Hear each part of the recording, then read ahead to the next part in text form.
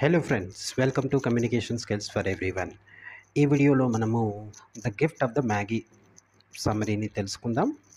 The gift of the Magi అనే దానిని హో హెన్రీ అనే కవి రాయడం అనేది జరిగింది. సో ఇది ఒక షార్ట్ స్టోరీ ఈ స్టోరీ మనకి నైన్టీన్ నాట్ ఫైవ్లో పబ్లిష్ చేయడం అనేది జరిగింది.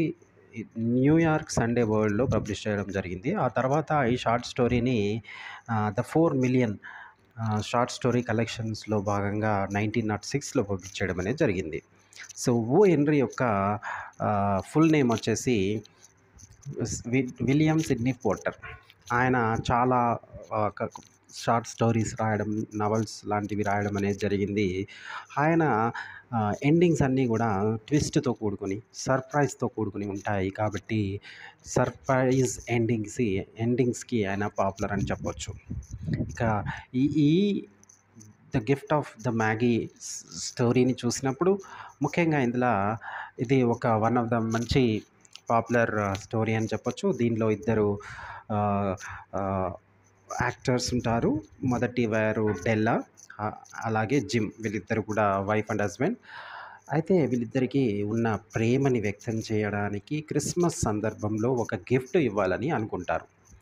ఇద్దరు కూడా గిఫ్ట్ ఇవ్వాలని అనుకొని వాళ్ళు గిఫ్ట్ గురించి ఎలా అయితే బాగుంటుందని ఆలోచన చేసి వాళ్ళు ఒక గిఫ్ట్ ఇవ్వడం అనేది జరుగుతుంది. సో ఈ గిఫ్ట్ ఇచ్చే భాగంగా ఏం జరుగుతుంది అనేది మనం స్టోరీలో చూడాల్సి ఉంటుంది.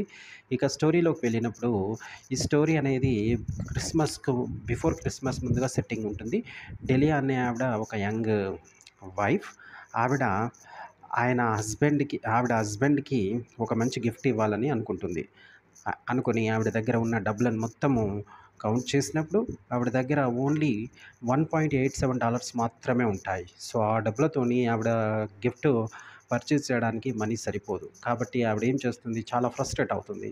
సో ఆ సందర్భంలో ఆవిడకి ఏదైనా సరే ఒక మంచి గిఫ్ట్ ఇవ్వాలి. ఎందుకంటే నా హస్బెండ్ చాలా కష్టపడుతూ ఉన్నాడు అనే ఉద్దేశంతో ఆవిడ విపరీతంగా ఆలోచిస్తూ ఉంటుంది. ఆవిడకి ఒక ఆలోచన వస్తుంది. సో ఆ విపరీతమైన ఫ్రస్ట్రేషన్లో ఆలోచనలో ఒక ఐడియా వస్తుంది. ఏంటంటే ఆవిడ దగ్గర ఉన్న ఆస్తి are beautiful lustrous brown hair. So ఆవిడ దగ్గర ఉన్న ఆస్తి ఏంటంటే ఆవిడకున్న ఒక ఎయిర్ వెంట్రుకలు. So after looking in the mirror she dresses up and visits. So immediately ఆవిడ దగ్గర ఉన్న అది వెంట్రుకలు కాబట్టి ఆవిడ చూస్తుంది మంచిగా డ్రెస్ వేసుకొని. ఒక హెయిర్ డ్రెస్సర్ దగ్గరికి వెళ్తుంది. ఆవిడ దగ్గరికి వెళ్ళగానే ఆవిడ డెల్లాస్ హెయిర్ని కట్ చేసేసి ఆవిడకి ఒక ఇరవై డాలర్లు ఇవ్వడం అనేది జరుగుతుంది. ఇప్పుడు డెల్లా దగ్గర గిఫ్ట్ కొనడానికి కావాల్సిన డబ్బు వచ్చేసింది. సో ఆవిడ ఏం చేస్తుంది? షాపింగ్ వెళ్తుంది గిఫ్ట్ కొనడానికి. వాళ్ళ హస్బెండ్కి గిఫ్ట్ కొనడానికి ఆవిడ షాపింగ్కి వెళ్తుంది. అక్కడ షీఈ్ ఏం చేస్తుంది ఆవిడ? అన్సాటిస్ఫైడ్. ఏ గిఫ్ట్ కొనాలి అని చెప్పేసి అన్నీ వెతుకుతూ ఉంటుంది. బట్ ఆవిడకి ఏం చే ఏం కొనాలో అర్థం కాక ఒక ఒక కన్ఫ్యూజన్ లాంటిది ఏర్పడుతుంది. అప్పుడే ఆవిడ అనుకుంటుంది సో ఆవిడ హస్బెండ్కి ఒక మంచి పొజిషన్ అనేది అంటే ఒక మంచి గోల్డ్ వాచ్ ఉంది. కానీ దానికి లెదర్ స్ట్రాప్ అనేది లేదు. సో ఇప్పుడు మనము అది విరిగిపోయింది కాబట్టి ఆమె ఏం చేస్తుంది? ఈవిడ ఆ వాచ్కి ఒక ప్లాటినం చైన్ని మంచిగా ప్రిసైజ్గా చెక్ చేసుకొని దానికి ట్వంటీ వన్ డాలర్స్ పే చేసి గిఫ్ట్ ప్యాక్ చేసుకొని ఇంటికి వచ్చేస్తుంది ఇక జిమ్ ఆవిడ హస్బెండ్ ఇంటికి వచ్చాక ఆవిడ ఆయన wife without her beautiful hair he is astonished and perplexed ఆవిడకి ఎంటికలు లేకపోయేసరికి ఆయన చూసి షాక్ అయిపోతాడు. ఒక రకమైన బాధని వ్యక్తం చేస్తూ ఉంటాడు. అప్పుడు డెలా కాంట్ అప్పుడు డెలా చూస్తుంది. అరే ఏమైంది అని respond tells she opens her gift to her. అప్పుడు ఆవిడ తెచ్చిన గిఫ్ట్ని హస్బెండ్కి ఇస్తుంది. సో అందులో ఆ గిఫ్ట్లో అదే సమయంలో జిమ్ కూడా తీసు జిమ్ కూడా ఆవిడకి గిఫ్ట్ తీసుకురావడం అనేది జరిగింది. అందులో భాగంగా ఏ పెయిర్ ఆఫ్ కోమ్స్ ఉన్నాయి వాటిని చూసినప్పుడు they look to be worthless because she has no longer long hair. ఆవిడకి వెంట్రుకలు ఉన్నాయనే ఉద్దేశంతో ఆయన కో పెయిర్ ఆఫ్ కోమ్స్ తీసుకుని వచ్చాడు. బట్ ఇప్పుడు ఆవిడ దగ్గర వెంట్రుకలు లేవు. కాబట్టి ఆ గిఫ్ట్ అనేది వర్త్లెస్ అయిపోయింది. టు కన్సోల్ హర్ హస్బెండ్ ఆవిడ హస్బెండ్ని బా బాధల నుంచి తీసుకురావడానికి she presents in the platinum chain only to discover that Jim sold his gold watch to buy gift for her ఆవిడ ఆయన ఉన్న వాచ్ని అమ్మేసి తెచ్చాడు అనే విషయం తెలుసుకుని ఆవిడ కూడా సర్ప్రైజ్ అవుతుంది. సో ఇక్కడ Jim advises that they put away their Christmas presents okay keep them keep this gifts away అని చెప్పేసి వాళ్ళిద్దరు మంచిగా నైట్ భోజనాన్ని ఎంజాయ్ చేస్తారు. సో ఇక్కడ ఆ స్టోరీ ఎలా కన్క్లూడ్ అవుతుందంటే the declaration that Della and Jim are the smartest them among those who provide present days time so వీళ్ళిద్దరు కూడా వాళ్ళ ఇద్దరి ప్రేమను వ్యక్తం చేయడానికి ఇద్దరు గిఫ్ట్స్ తీసుకుంటారు. ఆ గిఫ్ట్స్ అనేది వాళ్ళలో ఉన్న పొజిషన్స్ని వాళ్ళు అమ్మేసి తీసుకుంటారు. బట్ అప్పటికి అది ఏమాత్రం ఉపయోగం లేకుండా అవుతుంది. సో ఇక్కడ ఈ స్టోరీలో మనకు ముఖ్యంగా నాలుగు థీమ్స్ అనేవి కనిపిస్తాయి.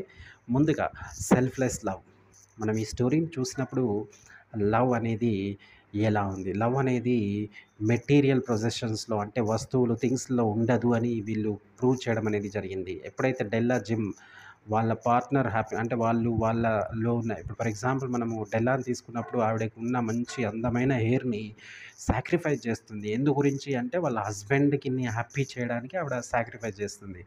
కాబట్టి వాళ్ళకున్న మంచి సంపదను వాళ్ళు కోల్పోతారు. మిగతా వాళ్ళ హస్బెండ్ లేదా వైఫ్లో హ్యాపీనెస్ చూడడానికి. That is the selfless love. అది ప్రజెంట్ జనరేషన్లో సెల్ఫ్లెస్ లవ్ అనేది లేకుండా పోయింది. అంత సెల్ఫిష్ లవ్ అయిపోయింది. ఇంకా నెక్స్ట్ సాక్రిఫైస్. సాక్రిఫైస్ అనేది మనం త్రూ అవుట్ దేర్ యాక్షన్స్ ఇక్కడ చూడొచ్చు. ఆ కపుల్ అనేవాళ్ళు వాళ్ళ ప్రేమని వ్యక్తం చేయడానికి వాళ్ళు ఏ సాక్రిఫైస్ చేయడానికైనా సిద్ధంగా ఉన్నారు.